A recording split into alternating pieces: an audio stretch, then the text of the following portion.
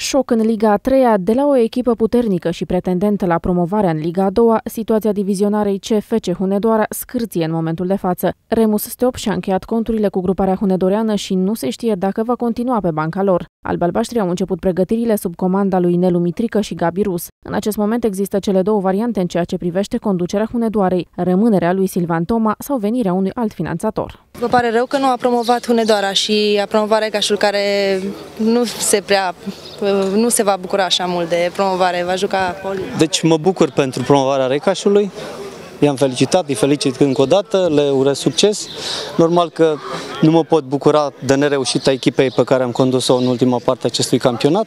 Au fost lucruri foarte frumoase, lucruri deosebite la Hunedoara, dar din păcate locul 2 nu, nu, nu participă în Liga a doua. S-a construit o echipă frumoasă, o echipă competitivă. Ar fi un mare păcat ca această echipă să nu aibă continuitate în perioada în care urmează. Dar cum am mai declarat și vă spun și acum, sunt incertitudini la nivel de conducere, la nivel de finanțator.